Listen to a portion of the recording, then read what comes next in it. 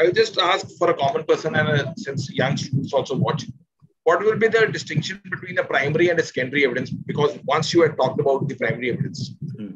देखिए primary evidence is always percipient evidence जो आदमी अपने सेंसेस से गेज करता है लाइक like, मैं गाँव में हूँ और मैं कहता हूँ मैं वहाँ जा रहा था अंधेरा था तो किसी ने आवाज़ दी बलजीत, कर दे आज काम।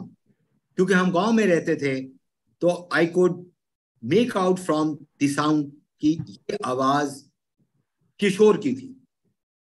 क्यों? ये प्राइमरी एविडेंस है।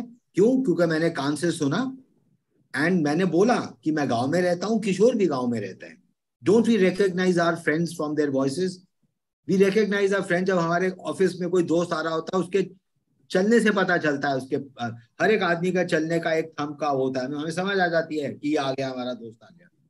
तो primary evidence is an evidence which is percipient evidence secondary evidence is an evidence which is not a percipient evidence where from two facts you would infer another fact that would be a case of secondary evidence that is why we say secondary evidence is a weaker evidence than primary why secondary evidence में दो tent है।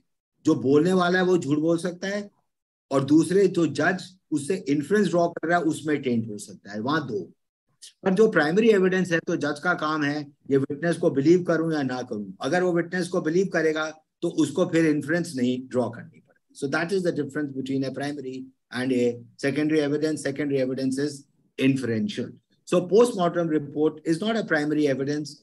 It would be an expert evidence, though It would have a feature of a primary कि एक step wound था दो step wound थे gun shot wound था वो तो डेड बॉडी स्पीक्स वो तो प्राइमरी हो गया पर अब इस छुरी से हुआ या नहीं हुआ that is not a primary evidence that would be an inferential evidence and would be from collated from the other facts stated by somebody as primary and an infer- uh, inference to be drawn.